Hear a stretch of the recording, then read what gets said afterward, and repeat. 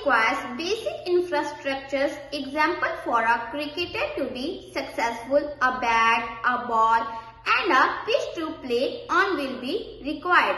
For a hockey aspirant, a hockey stick and a ground to practice. A very good morning to all of you. I am Jyoti Kumari, a student of class 7 from Government Middle School Khambra, Jalandhar. Honored to be nominated for today's public speaking activity.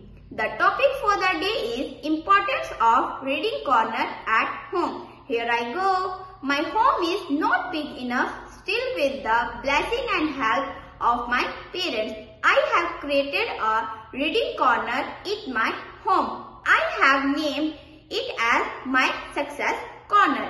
It has a table, a chair, my books, notebooks and stationery items.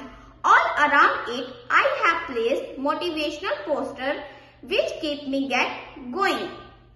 From the day I have made this, I find that my efficiency has increased. I now spend more time in studying as the corners, aesthetics and surroundings pull me towards it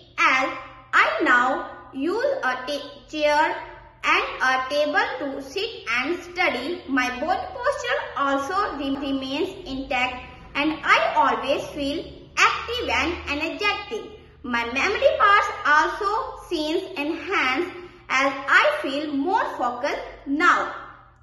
With a different approach of study, study now and I'm confident that I will be able to score more marks and I will come out with flying colors.